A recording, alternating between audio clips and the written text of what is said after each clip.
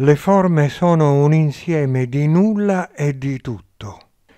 Cerchio Marina attraverso Attilio M, voce della quiete.vagliano-gmail.com, entità scientifica. Allora partiamo dalle parole. È possibile dire che il nulla e il tutto sono la stessa cosa? E perché è possibile che il nulla e il tutto siano insieme, quando voi continuate ad affermare che il nulla e il tutto siano solo la negazione l'uno dell'altro? Bruno, sono polari, sono dualità, entità scientifica. E la dualità che cos'è se non affermare che una cosa è l'opposto dell'altra? E se è l'opposto dell'altra vuol dire che non può stare insieme all'altra o no?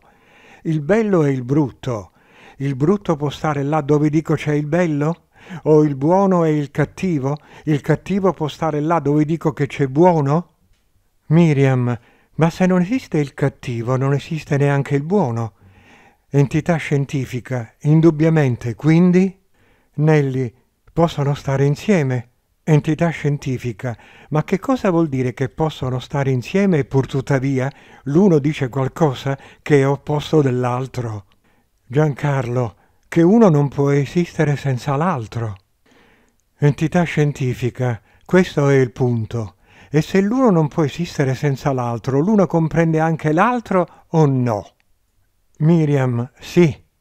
Entità scientifica, sì, voi dite, in realtà non è esatto perché il tutto non comprende anche il nulla, il nulla non comprende anche il tutto, se non nel senso che il nulla e il tutto sono degli espedienti verbali che servono a esprimere una realtà che ipoteticamente sta al di là del nulla e del tutto, o no? Bruno, tempo fa voi avete detto che quando l'uno emana lo fa attraverso due forze, il maschile e il femminile, che sono due modi per definire due aspetti opposti il tutto e il nulla non hanno lo stesso senso? Entità scientifica, proprio così. Il tutto e il nulla hanno lo stesso senso, ovvero sia, fanno parte ancora del duale e quindi non spiegano ciò che noi definiamo come essere, perché per noi l'essere sta al di là della dualità.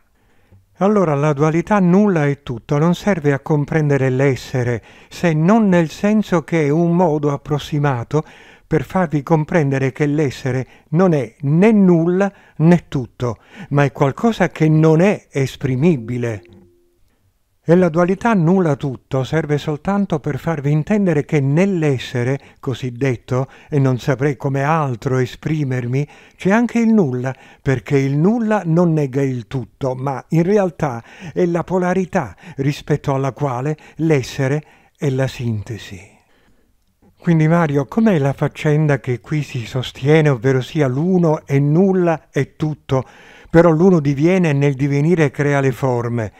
Allora le forme sono un insieme di nulla e tutto, è giusto?